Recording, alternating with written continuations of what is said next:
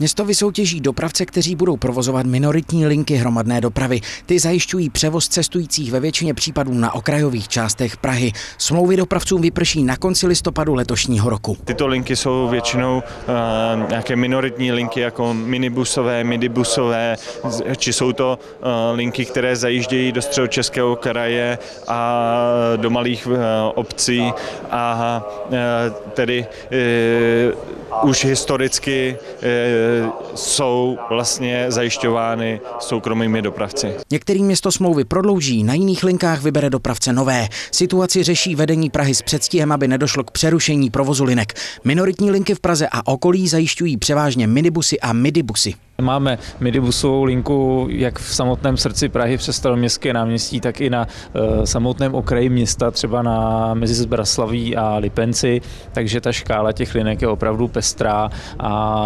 zavádíme zejména tam, kde velký autobus je buď zbytečný, anebo tam neprojede. K obnově smluv dojde na všech úrovních městské dopravy. Dopravnímu podniku město obnoví smlouvu na dalších pět let. Všechny typy smluv mají přinést nové standardy, které zvýší komfort cestování. Přinesou uh, kvalitnější cestování oproti dnešku, více nízkopodlažních autobusů, rychlejší obnovu vozového parku i e, vyšší komfort cestujících, například v podobě celovozové klimatizace, lepšího informačního systému nebo pohodlnějšího sezení. Město chce s dopravci, kteří provozují minoritní linky, uzavřít smlouvy na dalších 10 let. Celkem se prodloužení týká 11 skupin linek. Záměr schválila Rada města, výbor pro dopravu a nakonec také zastupitelstvo. Jan Varga, televize Praha.